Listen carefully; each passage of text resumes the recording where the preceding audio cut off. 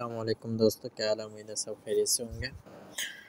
कल गोल्ड की वीडियो बनाई जिसमें मैंने 2013 के एसल के साथ 2002 से सेलिंग का कहा था। मार्केट ने हमें प्रॉफिट दिया 50 60 पिप्स मार्केट ज़रूर प्रॉफिट में गई 97 96 तक। मगर वो कोई ख़ास प्रॉफिट नहीं, क्योंकि मैंने टारगेट जो दिया था वो वन रेशो वन भी नहीं गई। ठीक है वन रेशो वन नहीं गई हाफ़ टारगेट अचीव की है। मतलब जितना आप रिस्क लिया, उसका हाफ़ ही गई थी। पाँच से छः डॉलर प्रॉफिट में गई, कोई ख़ास प्रॉफिट नहीं था। जिसकी वजह से हमें प्रॉफिट मतलब बुक नहीं किया, ठीक है? आज दोबारा से गोल्ड के न्यू वीडियो के साथ, उसके से पहले जो आए आयल को देख लूँ, क्योंकि कल मैंने आयल देखा था। तो आयल को दोबारा देख लें। ये चार्ट ये चार्ट ओपन हो गया, ठीक है? आयल गिरते गिरता चला गया। अब कि आयल को मैंने आपको यहाँ से ऊपर से सेलिंग का कहा था एटी वन के राउंड अबाउट। मगर आयल ने कोई मौका नहीं दिया और मैंने आपको सिक्सटी सिक्स सेवेंटी एट और सिक्सटी सिक्स सेवेंटी सिक्स का टारगेट दिया था। सेवेंटी एट तो हिट हो गया और मार्केट अब सेवेंटी सेवन सिक्स की तरफ़ जा रही है। ठीक है? और यहाँ पे आयल को आपने बाय करना है। बाय करंट सिचुएशन में नहीं करना। हाँ, ठीक है। आपको जस्ट आर एस आई लगा लेना अपने चार्ट के ऊपर और आर एस आई का फिफ्टी का लेवल बस आर एस आई लगा लेना और उसका फिफ्टी का लेवल जैसे ही आर एस आई यहाँ फिफ्टी का लेवल क्रॉस करे और यहाँ पे एच वन कैंडल क्लोज़ हो बाय में। एच वन कैंडल कोई भी बाय में क्लोज़ हो और उसकी जब क्लोजिंग हो तब आर एस आई फिफ्टी से ऊपर होना चाहिए। अगर फिफ्टी से ऊपर आर एस आई है और उधर एच वन कैंडल की क्लोज़ होगी और आर एस आई फिफ्टी से ऊपर है तो आपने जस्ट बाय कर लेना है। दोबारा से मैं दोहरा देता हूँ, अगर किसी को समझ नहीं आया। कि आर एस आई जब इधर फिफ्टी से ऊपर हो, चौदह का आर एस आई है, चौदह पीरियड का नॉर्मल आर एस आई है फिफ्टी का लेवल लगा लेना है। फिफ्टी के लेवल के ऊपर जैसे ही आर एस आई क्लोज़ होता है, ठीक है? और यहाँ पे एच वन कैंडल क्लोज होती है, क्योंकि मैंने H one time frame open किया देख लें। एच वन टाइम फ्रेम की कैंडल एच वन की कैंडल जब क्लोज होती है और आर एस आई फिफ्टी से ऊपर होता है तो आपने कर लेना है बाय और उस टाइम मार्केट का जो भी लो लगा होगा लो मतलब अभी जैसे करंट जो लो लगा है, ठीक है, और यहीं से फार मार्केट ऊपर जाती है और यहीं से आप मिल जाता है इधर आर एस आई इधर आ जाता है। तो आपने क्या करना है? इधर से बाय कर देना और ये ऐसा।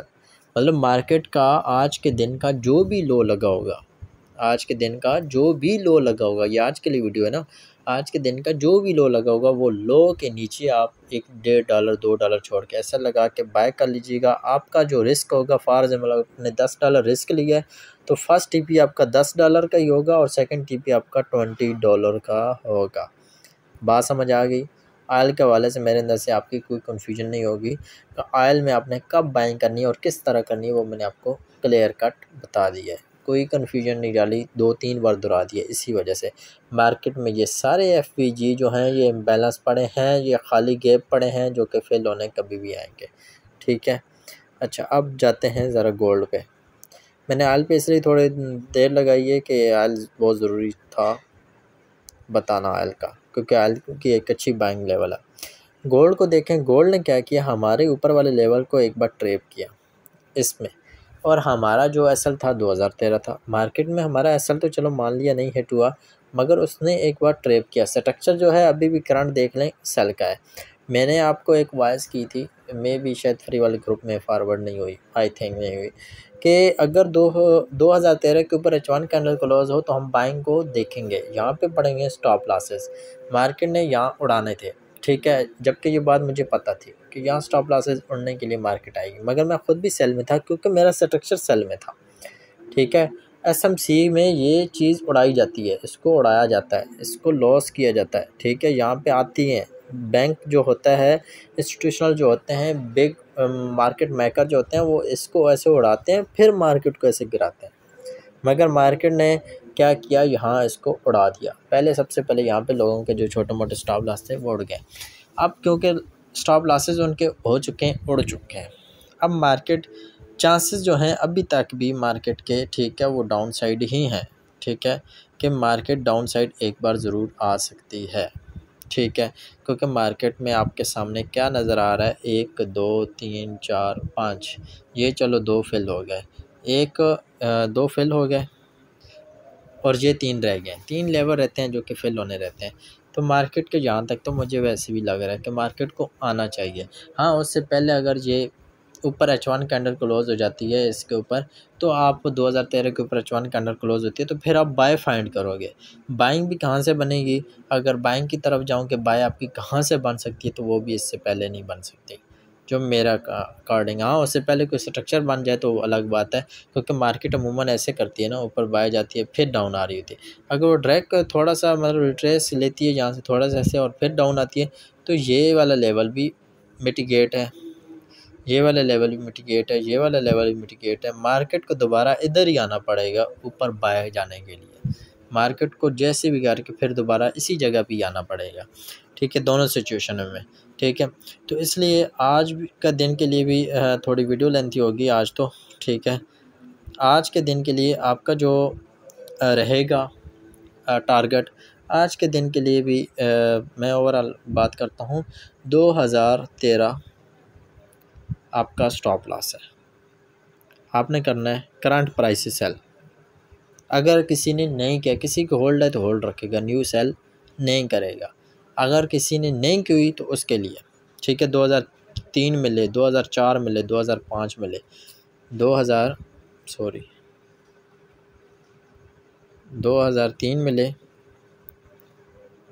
ठीक है 2005 मिले आपने करना है सेल मिनिमम लॉट से ठीक है, आपका रिस्क है 2013 तक, ठीक है एसएल और आपका जो टारगेट है वो फ़र्स्ट उन्नीस सौ तिरानवे है सेकंड टारगेट उन्नीस सौ सत्तर ही होगा। ठीक है? फ़र्स्ट टारगेट उन्नीस सौ तिरानवे है सेकंड टारगेट आपका उन्नीस सौ सत्तर ही रहेगा। मेरे अंदाज से अब आपके लिए बात फुल क्लियर कट हो चुकी होगी। इसके अलावा आज थोड़ा सा और भी देख लेते हैं यूरो यूएसडी को। अमूमन मैं उसको साथ थोड़ा बहुत देखता हूँ यूरो यूएसडी अगर इसका टाइम फ्रेम आप ओपन करो एच फोर अभी तो मार्केट आपको थोड़ी सी रेंज में नज़र आ रही होनी। ठीक है। मार्केट में यहाँ पे अगर देखा जाए, यहाँ भी स्टॉप लॉसेस हैं, यहाँ भी स्टॉप लॉसेस हैं। ठीक है। मगर मार्केट ऐसा करके आ सकती है। ठीक है। ऐसे करके आ सकती है। स्ट्रक्चर जो है, वो अगर प्रीवियस स्ट्रक्चर वॉच करूँ तो मार्केट बाय साइड चल रही है। देखें स्ट्रक्चर ब्रेकआउट हुआ था, यहाँ पे मार्केट का लो ये मार्केट हाई है अगर ये हाई टूटता है मार्केट मोर बाय जाएगी। अगर ये लो टूटता है तो मार्केट का स्ट्रक्चर ही सेल हो जाएगा। ठीक है मार्केट डाउन साइड ही रहेगी। मगर एक चीज़ आप देख रहे होंगे, यहाँ पे ट्रेंड लाइन आ रही है। अगर ये ट्रेंड लाइन ब्रेक होती है तो मार्केट प्राइस एक्शन के मुताबिक सेल आ जाएगी और मार्केट का टारगेट यह रहेगा। ठीक है यूरो जी को मैंने शायद ज़्यादा ही कोई आपको डिटेल में बता दिया तो मैं भी आपको अब थोड़ी ज़्यादा डीपली समझ आ गई होनी कि यूरो जी में अब क्या करना है सेल करना है। यूरो जी में फ़र्स्ट आप सेलिंग यहाँ से करंट प्राइस से कर सकते हैं, पहली बात। ठीक है करंट प्राइस से आप सेल कर सकते हो, पहली बात। अगर आपको ट्रेंड लाइन का नॉलेज है अगर आपको नॉलेज है तो ट्रेंड लाइन के ब्रेकआउट पर इसके नीचे एच वन कैंडल क्लोज हो। एच वन कैंडल क्लोज होने के बाद अगर मार्केट की ये एफ़ पी जी मिटिगेट ना हुआ हो तो इंशाल्लाह मार्केट इधर आके दोबारा से। अब तक होगा क्या कि मार्केट में ये ट्रेंड लाइन है। ठीक है, अगर मार्केट डायरेक्ट यहाँ पे कैंडल क्लोज करती है। अब लोग क्या करेंगे? यहाँ से सेल यहाँ से सेल करेंगे, मगर होगी नहीं। मार्केट क्या करेगी? मार्केट हमेशा अपोजिट सोचती है। मार्केट जाएगी ट्रेंड लाइन के अंदर। ये यहाँ पे एक जोन पड़ा है सेकंड जोन पड़ा है। मार्केट इस जोन से या उस जोन से मार्केट डाउन आई। लोग कहेंगे, यार ट्रेंड लाइन ब्रेकआउट होकर मार्केट ऊपर गई है ट्रेंड लाइन के अंदर दोबारा घुस गई मार्केट अपना एंट्री लेने गई है, जबकि लोगों के स्टॉप लॉस कहाँ पे होंगे? इस ट्रेंड लाइन के ऊपर, यहाँ पे। बहुत कम लोग हैं जो इस, यहाँ पे स्टॉप लॉस रखेंगे, ज़्यादा इधर तक होंगे। ठीक है? और उनके स्टॉप लॉसेस हिट हो सकते हैं। अच्छा अगर आप आज के दिन के लिए स्कल्प सेल कहते हो तो आप करंट प्राइस से सेल कर लीजिएगा। आपका जो स्टॉप लॉस है एच फोर का जो हाई लगा हुआ है, उसी के ऊपर आपका स्टॉप लॉस है। यहाँ इसी के ऊपर आपका स्टॉप लॉस रहेगा दो तीन डॉलर छोड़ के, ठीक है? और अपना टारगेट आप बेशक आर्जी तौर आज के दिन के लिए यहाँ तक रख सकते हो, मिनिमम टेन डॉलर। आपका फ़र्स्ट टारगेट है। ठीक है, ये आरजी तो रख सकते हो। वैसे ओवरऑल अभी सेलिंग है नहीं, ठीक है। बाइंग है, मगर बाइंग अभी करंट प्राइस में, क्योंकि यहाँ से बनती है मेरे अकॉर्डिंग तो यहीं से बाय करना चाहिए और उसका ये टारगेट रखना चाहिए। तो इसलिए आप मिनिमम टेन डॉलर का यहीं से अतः के, यहाँ तक बनता है बनता है बारह डॉलर ठीक है टारगेट जहाँ से करंट प्राइस है। तो आप टेन डॉलर मिनिमम टीपी रख लीजिएगा करंट प्राइस से सेल कर लें। ठीक है, अपना एच फोर का जो भी हाई लगा हुआ उसी का अपना ऊपर अपना ऐसा रख सकते हैं। ठीक है स्ट्रक्चर जो है करंट सिचुएशन में बाइंग साइड चल रहा है। जो मार्केट की सिचुएशन है ना, वो बाइंग है। ठीक है मार्केट का यहाँ पे एक लेवल पड़ा हुआ है। मार्केट को इस लेवल पे आना चाहिए और यहाँ से फिर बाय करना चाहिए और आप ये टारगेट सेट कर सकते हो। वो भी स्विंग ट्रेडर स्विंग ट्रेडर आप जानते होगे जो कि तीन तीन, चार चार दिन ट्रेड होल्ड करते हैं। पोजिशनल ट्रेडर भी ऐसे ही होते हैं। हम है डे ट्रेडर हम अपना डेली बेसिस पर अपना थोड़ा पास ब्यास निकालना है, अपना थोड़ा बहुत प्रॉफिट निकालना है और साइड पर हो जाना है। ठीक है इनशाला आपको क्लियर वीडियो समझ आ गई होनी। इंशाल्लाह नेक्स्ट वीडियो मिलते हैं। अपना बहुत सारा ख्याल रखें। अल्लाह हाफिज़।